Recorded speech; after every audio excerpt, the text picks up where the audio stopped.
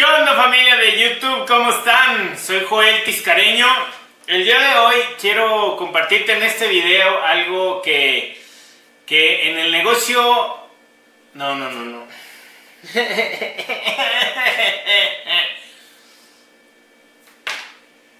¿Qué onda familia de YouTube? ¿Cómo están? No.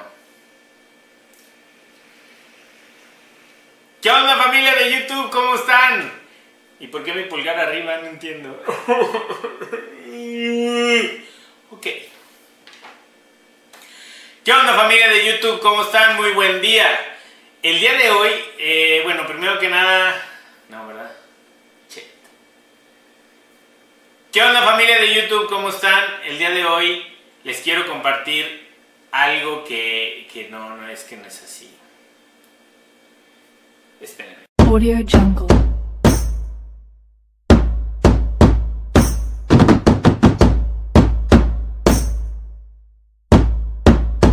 Audio Jungle.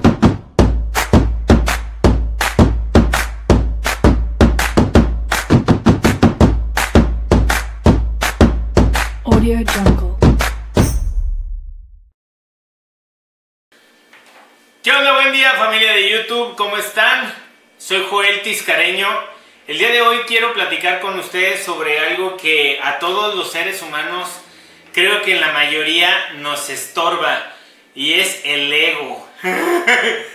el ego es algo horrible cuando no lo sabes controlar y no lo sabes manejar. ¿Qué es el ego? El ego es el yo interno, el que, el que te dice, tú sí puedes, vamos, hazlo con ganas, tú eres el mejor, es el que te hace competir y todo eso, y hasta cierto punto está bien, pero cuando ya está mal, híjole, aquí viene lo malo. Lo malo es que cuando te sientes ofendido, la ofensa viene por cierta ignorancia de algún tema. Ese es decir, si vamos a, por ejemplo, estás en una plática con compadres, ¿no? Empiezan a hablar de coches y tú quieres participar y resulta que no sabes nada de idea del tema, a duras penas sabes operar un carro. No sabes de motores, no sabes de capacidad de, caballaje, de rines, de llantas, de velocidad, nada sabes nada, pero ahí estás queriendo participar en la plática y en el momento en que te toca participar, resulta que eh, vas a decir disparates. Y luego dices, no, compadre, ¿cómo crees? Eso no tiene nada que ver. Y te sientes ofendido y dices, ¿cómo que no? Yo sí sé de eso, que esto, que lo otro. Este, no me digas cuando es en el trabajo. En el trabajo, uy, olvídate que tú dices. Te dicen, oye, tú sí sabes operar este programa, ¿no? Porque necesitamos en el puesto que los... Ah, sí, claro, yo lo sé usar. Y sácate las que no sabes. Y es ahí donde el ego te va a estorbar. Es ahí donde el ego te va a decir que eres impotente, que, que no vas a poder y eso te enoja y te ofende. Entonces al momento que tú te sientes ofendido, lo tomas muy personal, pero sin darte cuenta, tú no sabes que la persona no te va a juzgar porque si sabes o no sabes, esa es la realidad. ¿Sí? Pero tu ego te hace sentir que sí, pero no es así. Eso, eso te puede afectar muchísimo. Eh, también cuando siempre tienes que tener la necesidad de tener la razón, ahí también el ego te va a estorbar. El, el- en el momento en que tú siempre quieras tener la razón o también quieras ser siempre el protagonista, el más importante, es que yo soy bien especial, eso está mal, eso está mal, no te va a dejar trabajar en equipo, no te va a dejar convivir en familia, ¿por qué? Porque a todo le vas a hacer el fuchi, porque nada, ¿cómo crees? No saben de esto, ellos qué van a saber, yo sé de esto, yo, yo, yo y yo soy el más ingón. Pues no, no. Yo pienso que hay que saber con que el ego te puede eh, hacer servir de lo suficiente, competir contigo mismo, porque tú al competir con otras personas de todas maneras, ellos van a hacer su mejor esfuerzo, pero cuando tu ego te empieza a afectar, yo tengo que ganarle a él, y ese güey no tiene por qué saber más que yo, y no, él que va a saber, yo sí sé, eso está mal, eso está mal. Hoy día, de las mentes más inteligentes y, no son famosos, te puedo hablar de, de un cliente que, que yo tengo, eh, es dueño de una fábrica de calzado este, eh, muy, muy, muy grande, no es ni una marca muy, muy importante. Y él una vez me dijo, mira Joel, yo no terminé todos mis estudios, yo terminé hasta mi prepa, eh, no soy muy inteligente, pero contrato a la gente que tiene los conocimientos. Y hago que dirijan mi empresa. Ah, eso es ser inteligente, es bajar tu ego y decir, no importa, pero soy lo suficientemente inteligente para contratar quien sí sabe hacer eso. Cuando tienes un equipo de trabajo que tú dices, este es bueno para el almacén porque sé que me lo va a tener súper ordenadito, el, el, este, el, ¿cómo se llama? El, las finanzas de mi almacén van a estar bien protegidas, va a comprar cuando sea necesario, no voy a tener de más, no voy a tener pérdidas, a él lo voy a poner ahí. En administración, este es el experto con los números, con los bancos, finanzas, todo eso, y, y, y empiezas a hacer un equipo. Y en vez de que estas personas te critiquen, ah, pues es que no llegó y es que yo sé, esas personas al contrario, tú por el hecho de pagarles te van a respetar, ¿sí? El respeto a uno mismo, primero saber que eres capaz de y que no eres capaz de no. Es decir, si eres capaz de hacer un trabajo, hazlo bien y ya te demostraste que eres bueno y chingón en eso. No tienes por qué aferrarte a la idea de que es que yo les voy a demostrar que sí puedo y que soy este, que el otro y que la fregada. Pero si no tienes un equipo que te respalda tus conocimientos y tu sabiduría y tu, tu, eh, tu emprender en tu labor, no lo vas a poder hacer. Hay que entender que estamos rodeados de una sociedad. Lo mismo es en la familia, las competencias. Eso no... La competencia es buena, sí, pero cuando te demuestras a ti mismo qué tan capaz eres de. Si yo fui mejor en los deportes que mi hermano, bueno, pues fui mejor, pero porque él también fue mejor en los estudios que yo. ¿Por qué? Pues porque se le daba más el estudio. No, y a mí se me daban mal los deportes. Entonces, yo no me sentí mal jamás porque él era mejor que yo en el estudio. Jamás me sentí mal y no debes de sentirte mal. Hay que saber valorar lo que cada quien es capaz de hacer y aprovechar eh, de, toda la gente que te rodea. Tú eres bueno para esto, vas a hablar frente al público. Tú eres bueno para conseguir clientes, pues te vas a ventas. Tú eres bueno para resolver problemas, te voy a poner en operaciones este, de, de, de, de problemas, o sea, para resolverlos, ¿no? Entonces, tú vas haciendo un equipo de expertos, ¿sí? Y tu ego va a ir, ir desapareciendo, lo vas controlando y te das cuenta que a fin de cuentas el ego, pues no sirve, no sirve, te va a frenar en muchas cosas. El ego te hace sentirte ofendido, el ego te hace sentirte ignorante y empiezas a mentir y empiezas a hacer cosas que no debes hacer. Y entonces también sucede que cuando estás en un entendimiento de una acción, vamos a poner el ejemplo en un trabajo, no, pues sabes que tú vas a manejar este sector de gente, tienes a tu cargo 300 personas, ¿eh? Aguas, échale ganas, tienes que producir, bla, bla, bla y todo. Y entonces tú te pones acá las pilas y hay dos tipos de personas. Una la que dice, sí, yo puedo con todos ellos y van a estar bajo mi mando y yo les voy a demostrar y bla, bla, bla. Y resulta que tú les caes gordo, no hay empatía con ellos. ¿Qué vas a hacer? Solo no puedes hacer las cosas. Y te van a estar poniendo trabas y te van a hacer la vida de cuadrito. Y tú vas a decir, no importa, yo puedo hacerlo solo. Pues no puedes hacerlo solo. Si eres capaz, porque lo has demostrado y te sientes capaz. Pero si caes mal y no tienes la empatía, ¿cómo lo vas a lograr? Si me explico? Es en el momento en el que se vale decir, me voy porque aquí no valoran lo que yo sé y lo que yo soy. ¿Sale? En vez de decir, ah, es que me rendí, fracasé, que esto... No, no, no fue un fracaso ni es rendirte, es ser inteligente y decir, hasta aquí llegué con esta gente porque no valoran lo que yo sé hacer. Y en todo caso, en vez de eso, tratar de empatizar.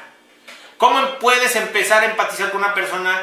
Pues diciéndole, ah, qué bien te ves o ah, me gusta tu sentido de humor, este, sabes que eres muy bueno haciendo esto, te felicito, bla, bla, bla, y empiezas a generar empatía con las personas, y empiezas a tener mejor comunicación y una mejor realidad de las cosas que tienen que hacer en equipo. Y así es como las cosas funcionan mucho mejor. pausa. ¿Cómo puedes controlar tu ego? Pues no tratar de ser siempre el centro de atención, primero que nada, ¿no? Eh, no, se, no, ¿sabes qué? Muchas veces yo veo gente que se preocupa por la fama, yo soy famoso en esto, yo quiero ser esto, yo... Y, la verdad, eh, te voy a poner un ejemplo, a lo mejor eh, yo ahorita te comparto este video y voy a hacer, y lo ven 500 personas, y voy a ser 500 veces más famoso, pero también 500 veces diferente famoso. Es decir, alguien va a generar una opinión sobre mi persona que puede ser hasta mala y a lo mejor como él puede haber 100 y 50, ¡eh! Es mena. Y otros 150 dicen, ah, me cae muy bien este güey y, y dice cosas netas, ah, chido. ¿Sí me explico? Entonces, olvídate de querer tener fama de ese tipo. La fama alimenta mucho al ego, pero la verdad no sirve tampoco para nada. ¿Por qué? Porque te va a hacer sentir estar en una realidad que no es tu realidad, porque la fama la genera la gente de lo que piensa sobre ti. Entonces también ten mucho cuidado con eso. Y, me refiero eh, fama buena o mala, ¿eh? Mm, o sea, puede generarse eh, fama buena, eh, sí, sí, es muy bueno en esto, pero sabes que yo vi de repente se echa sus, sus picoretes, se, droga y... ¿Sí me explico? Entonces, esa es una parte que también tienes que controlar mucho.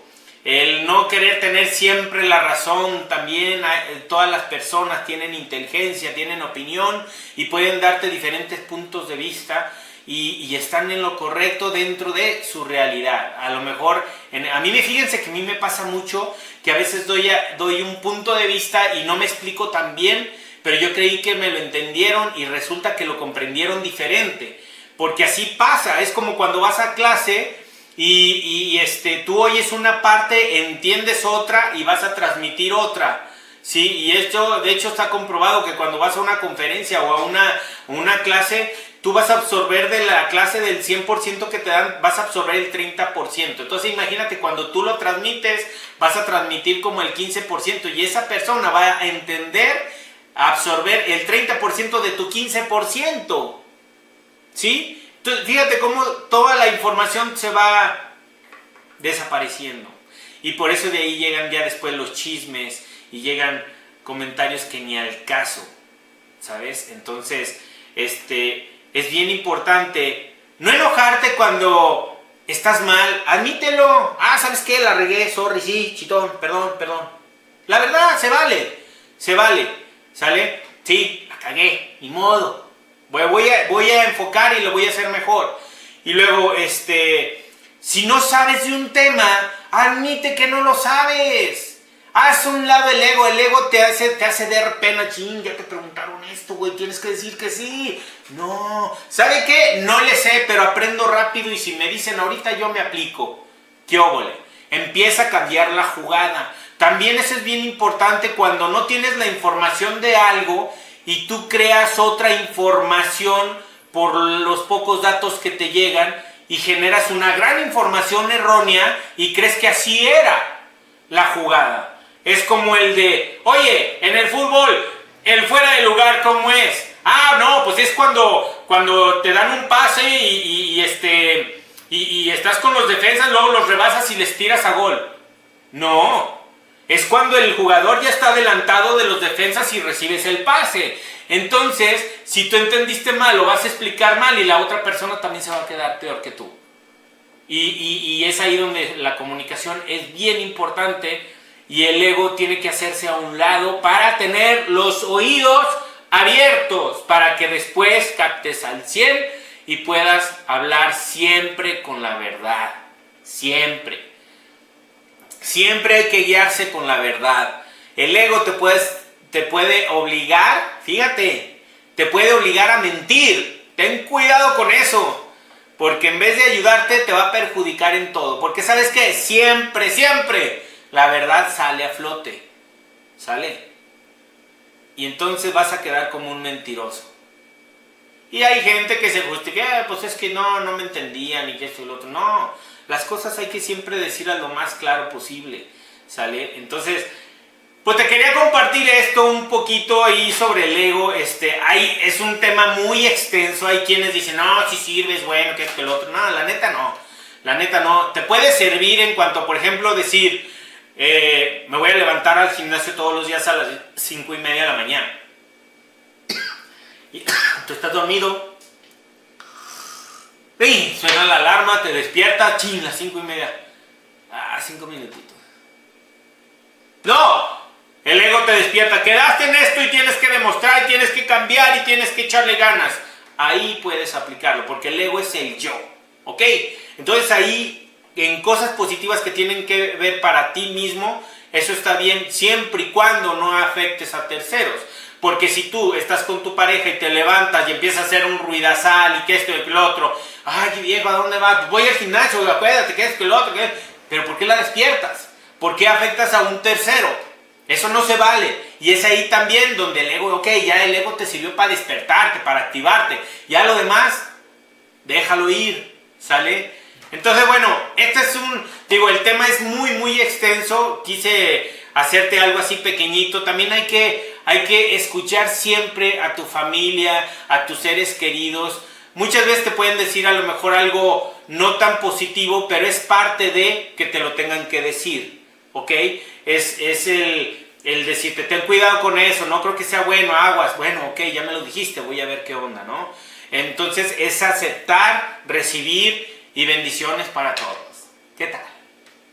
Espero que les haya gustado el video, si te gustó, manita arriba, dale campanita, suscríbete al canal y compárteme ahí en qué te ha afectado a ti el ego en tu vida, ¿sale? Bendiciones para todos y muchísimas gracias.